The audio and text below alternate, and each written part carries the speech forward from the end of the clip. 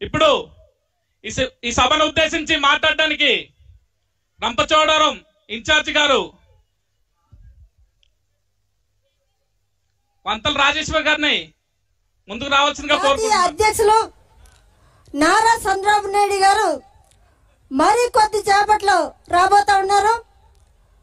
మన జాతీయ అధ్యక్షులు నారా చంద్రబాబు నాయుడు గారికి నా హృదయపూర్వక నమస్కారాలు తెలియజేసుకుంటూ అలాగే వేదిక పైన ఉన్నటువంటి మాజీ మంత్రులు నా తోటి ఇన్ఛార్జీలు అలాగే రాష్ట్ర కమిటీలో ఉన్నటువంటి కమిటీ సభ్యులు. అలాగే అందరికీ కూడా పేరు పేరున్న హృదయపూర్వక నమస్కారాలు తెలియజేసుకుంటూ అలాగే జనసేన పార్టీ నుంచి వచ్చినటువంటి జన సైనికులకి అందరికీ కూడా పేరు పేరున హృదయపూర్వక నమస్కారాలు తెలియజేసుకుంటూ ఈరోజు మన అరకు అరకులో ఏడు నియోజకవర్గాల నుంచి వచ్చినటువంటి తెలుగుదేశం పార్టీ నాయకులకు కార్యకర్తలకు అలాగే జనసేన పార్టీ నాయకులకు కార్యకర్తలకు అందరికీ కూడా పేరు పేరున హృదయపూర్వకంగా నమస్కారాలు తెలియజేసుకుంటూ అందరికీ కూడా పేరు అందరికీ కూడా పాదాభివందనాలు తెలియజేసుకుంటా ఉన్నానండి ఈరోజు ఐదు సంవత్సరాల్లో జగన్మోహన్ రెడ్డి చేసినటువంటి పరిపాలన ఏమైనా ఉందా? ఈ ఐదు సంవత్సరాల్లో కూడా కనీసం పరిపాలన ఎక్కడ కూడా కనిపించినటువంటి పరిస్థితి. ఈ ఐదు సంవత్సరాల్లో పరిపాలన మొత్తం జీరో. ఎక్కడ కనిపించినటువంటి ఎక్కడ అభివృద్ధి జాడ కనిపించలేదనేసి మీకు అందరు కూడా తెలియజేస్తా ఉన్నాను. ఈరోజు ముఖ్యంగా నా నియోజకవర్గం నా రంపచోడవరం నియోజకవర్గంలో పదకొండు మండలంలో మరి చాలా ఇబ్బందులు పడే పరిస్థితి ఉంది. అంతేకాకుండా ఈ గిరిజన ప్రాంతాల్లో కూడా ప్రతి ప్రా- ప్రతి గ్రామంలో కూడా ఈరోజు రహదారులు లేని పరిస్థితి మంచినీటి లేని పరిస్థితి. అలాగే వైద్యం కానీ విద్య కానీ అన్ని రంగాల్లో కూడా వెనుకబడి ఉన్నామంటే ఈ జగన్మోహన్ రెడ్డి ప్రభుత్వం కారణమే అని చెప్పొచ్చు.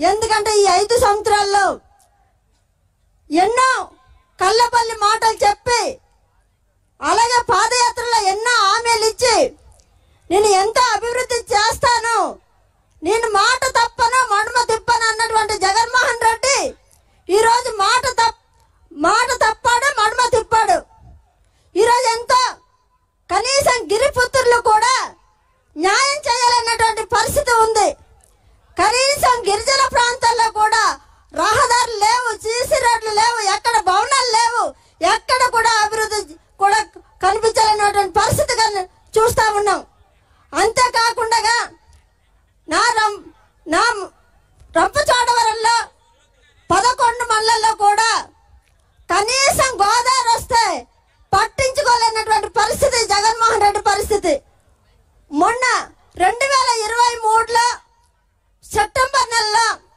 కనీసం గోదావరి వస్తే కనీసం జగన్మోహన్ రెడ్డి చేసింది ఏముందా అంటే కనీసం వాళ్ళకు అందుబాటులో ఉన్నటువంటి కనీసం వాళ్ళకు వాటర్ క- మంచినీటి సౌకర్యం కూడా అందించలేని పరిస్థితి.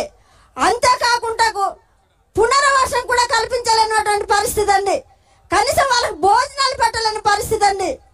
ఎన్నో కళ్ళబల్లి మాటలు చెప్పి జగన్మోహన్ రెడ్డి ఆ రోజు కనీసం సింతూరు వచ్చి సింతూరులో కూడా ఎక్కడ ఒక మారుమూల గ్రామంలో వచ్చి మరి అక్కడ ఏదో మేము కేంద్రం ఇస్తే అప్పుడు మేము పోలవరం ప్యాకేజ్ ఇస్తాం ఆర్ అండర్ ప్యాకేజ్ ఇస్తాం అని చెప్పడం జరిగింది.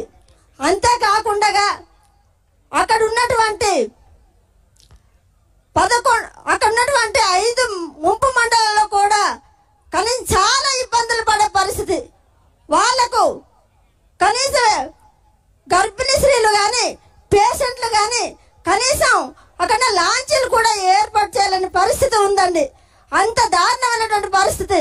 మన నాయకుడు వచ్చి అక్కడ ఉన్నటువంటి నాలుగు మండలాల్లో కూడా ప్రతి గ్రామానికి వెళ్తూ ప్రతి ఒక్కరు కూడా పలకరిస్తూ అమ్మ నేను ఉన్నానని ధైర్యం చెప్తూ ఆ రోజు అందరు సమస్యలు వింటూ ఆ రోజు నాలుగు మండలంలో కూడా గోదావరి వస్తే మరి చంద్రబాబు నాయుడు గారు చాలా చక్కగా సమస్యలు వింటూ వాళ్ళ వాళ్ళకు ఒక భరోసా ఇవ్వడం జరిగింది. అంతేకాకుండా అక్కడ ఉన్నటువంటి పరిస్థితి చాలా దీనమైనటువంటి పరిస్థితి అండి. ఆర్ అండ్ ఆర్ ప్యాకేజీ కానీ కనీసం పునరావాసం కానీ అక్కడ ఉన్నటువంటి కనీసం ఏ ఏ ఒక్కటి కూడా పూర్తి చేయలేనటువంటి పరిస్థితి ఈ జగన్మోహన్ రెడ్డి పరిస్థితి అనేది నేను తెలియజేస్తా ఉన్నాను. ఈరోజు ముఖ్యంగా ఇంకొక విషయం ఏమిటంటే అక్కడ నా సొంత నియోజకవర్గంలో మరి ఎమ్మెల్సీ అనేసి అనంతబాబు ఒక ఒక కిరాతకుడు ఉన్నాడండి. నిజంగా చాలా కిరాతకుడు. ఎందుకంటే అక్కడ సొంత దళితుడు దళిత సోదరుని మరి కిరాతకంగా చంపి డోర్ డెలివరీ చేసినటువంటి వ్యక్తి అనంతబాబు అండి. అలాంటి మడ మర్డర్ చేసిన వ్యక్తిని ఆరు నెలలు జైలు శిక్ష చేసి బయటకు వస్తే వీళ్ళు పూల దండ లేసి పూల పాల్పుల మీద తీసుకొని వచ్చి ఊరేగింపు చేసుకుంటూ తీసుకొని వస్తే వైసీపీ నాయకులకి ఏమైనా సిగ్గుందా అని నేను అడుగుతా ఉన్నానండి. నిజంగా సిగ్గు లేకుండా తీసుకొని వచ్చి పూలమాల లేసి ఊరేగించుడు తీసుకొచ్చారంటే ఈ వైసీపీ ప్రభుత్వంలో ఉన్నటువంటి ఇలాంటి నీచమైన పరిపాలన అందరూ ఆలోచించాలి అందరు గమనించాలి. ఈ రోజు నిజంగా చంద్రబాబు నాయుడు గారు రెండు వేల ఇరవై నాలుగులో ఖచ్చితంగా కాబోయే సీఎం ఆయనే. ఖచ్చితంగా ఆయన బా ఆయన సీఎం అవుతూనే మన గిరిజనులకు గిరిపుత్రులకు అందరికి కూడా న్యాయం జరుగుతారు అందరు కూడా తెలియజేసుకుంటూ అంతేకాకుండా ఎస్సీలకి ఎస్టీలకి బీసీలకి మైనార్టీలకి అన్ని సామాజిక వర్గాలకి న్యాయం జరగాలంటే ఖచ్చితంగా మన చంద్రన్న రావాలి మన అందరి బాగుపడాలనేసి బాగుపడతాయనేసి మనస్ఫూర్తిగా కోరుకుంటూ ఈ అవకాశం ఇచ్చినటువంటి మరి పార్టీ జిల్లా పార్టీ అధ్యక్షులు శ్రావణ్ కుమార్ గారికి ధన్యవాదాలు తెలియజేస్తా ఉన్నానండి. థ్యాంక్ యూ అమ్మా